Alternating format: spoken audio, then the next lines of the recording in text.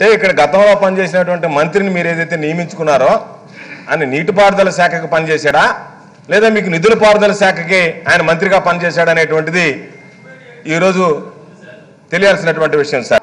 నా నియోజకవర్గంలో డేగపూడి బండేపల్లి కెనాల్కి సంబంధించి ముప్పై కోట్ల రూపాయలతో కాంట్రాక్ట్ పిలిస్తే ఆ రోజు ఇంజనీర్ నిబంధనలకు విరుద్ధంగా దీనిని నామినేషన్ పద్ధతి మీద ఇవ్వండి అని చెప్పి ఆ కంపెనీ పేరుతో సహా ఏ కంపెనీకి ఇవ్వాలనేటువంటిది కంపెనీ పేరుతో సహా సూచించి ప్రిన్సిపల్ సెక్రటరీ గారికి ఆ రోజు లేఖ రాశాడు. దాని మీద మేము గొడవ చేస్తే ఆ రోజు మంత్రి మాట్లాడినటువంటి మాట ఏంటంటే అసలు ఈ విషయం ఎమ్మెల్యే ఎట్ట తెలిసిందా? మీరు అనవసరంగా అన్నారు తప్ప సిస్టంలో తప్పు దొరికింది అనేటువంటి దాని గురించి ఆలోచన చేయలేదు. అదే కాంట్రాక్టు దాదాపు కాంట్రాక్ట్ టెండర్ పిలిస్తే పన్నెండు పర్సెంట్ తక్కువ కేసారు.